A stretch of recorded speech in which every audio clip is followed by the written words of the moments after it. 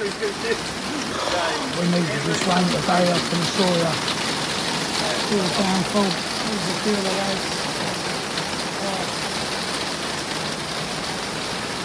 Beautiful, beautiful weather is what we needed.